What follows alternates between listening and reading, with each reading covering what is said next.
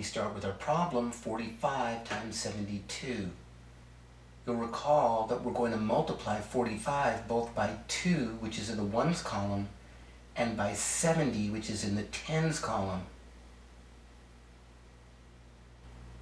With this information, we can now set up two separate problems. First, we take the 45 and multiply it by 2 to get 90.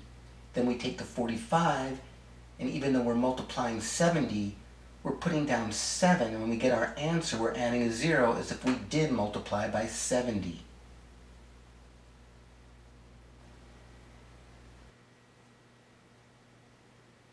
Now all we do is take our two answers, 90 and 3,150, add them together for a final answer of 3,240.